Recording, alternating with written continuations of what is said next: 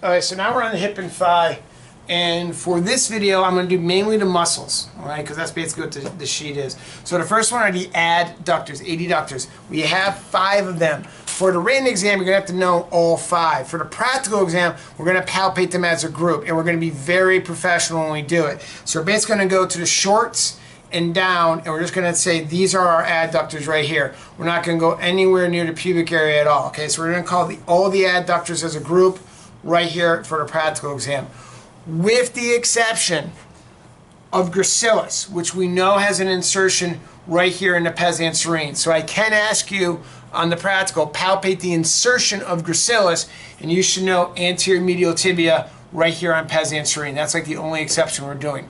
Now in terms of the quadriceps, only one of them crosses the hip joint. That's rectus femoris coming from anterior superior. For the purposes of our class, for the practical, vastus or uh, rectus femoris comes from anterior inferior iliac spine all the way down superior pole patella patella inferior pole tibial tuberosity so i want you inserting into tibial tuberosity all the way down. Vastus medialis anterior medial through the patella tibial tuberosity vastus lateralis on the lateral side through the patella tibial tuberosity and vastus intermedius right down the middle no, I'm not going out here to iliotibial tract for vastus lateralis, nor am I dropping into adductors. It's anterior medial, anterior lateral. Okay, there is a distinction. Use the illustration in the trail guide to really visualize how those muscles are, are actually not all connected. All right, so those are our main anterior muscles, and I did in the last video, sartorius. Okay, so we have four quadricep muscles plus the sartorius on the anterior side, um, and our five adductors as a group on the medial side. If we flip her prone, we can do the three hamstring muscles.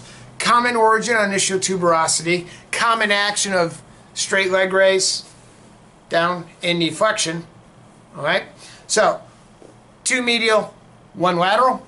Ischial tuberosity, biceps femoris comes down, goes lateral, and goes to the fibular head. Use the crease in the knee to make sure you're crossing the knee joint all three cross. So on the lateral side, we cross the knee and we go to fibular head. Semimembranosus crosses the knee joint and stays in the posterior tibia in that, tib in that popliteal fossa. Semitendinosus comes down and wraps around to the anterior medial tibial to the pes anserine. So we have gracilis, semitendinosus, and sartorius, all the pes anserine. Those are our three sergeant muscles. If we want to see the hamstring tendons a little bit better, kind of put her a little bit of flexion. So she's going to bring her heel to her butt. And you can see right there, that's the beautiful biceps femoris tendon, which sticks out. If we go a little bit more medial, you can see that's semimembranosus. There's semitendinosus. Kind of talked about in class, if that is biceps femoris tendon, and I go a little bit more lateral, that is iliotibial tract. Okay, you can kind of see me snapping my finger on it. So they are actually parallel and very close to each other. So that's biceps femoris. That is iliotibial tract. Okay, so make sure you feel and differentiate the two of them. Iliotibial tract is going to stay lateral and go to Gerdy's. Biceps femoris is going to go to fibular head. So when you're palpating your hip and pelvis muscles, make sure that you are focusing on that. So we get the hamstrings, we did the adductors, we did the anterior musculature, really the only thing that's kind of left are hip flexors. So we're going to put her supine again. Sorry about that, my bad. Hip flexors are going to be kind of hard to palpate.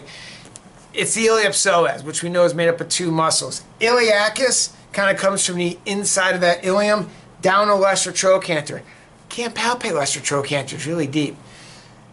Psoas major comes all the way up from her lumbar spine. No way in hell I can palpate her lumbar spine without actually ripping through her intestines. She might not appreciate that. So for purposes of our class, we're going to say the hip flexors are right here. Okay, we're just going to call the hip flexors like that, the, the iliopsoas as a group. So we really can't palpate them fantastically.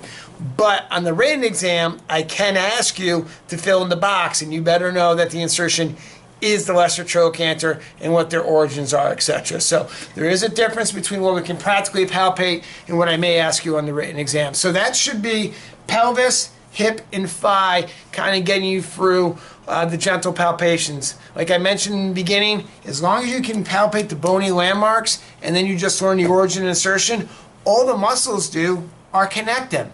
And 90% of the time, with the exception of like sartorius, the muscles are going to go in a straight line. Right? Sometimes they have a curve, but honestly, they're just basically go in a straight line. So that's why those muscle worksheets are going to be so important for you. So, have any questions? Let me know.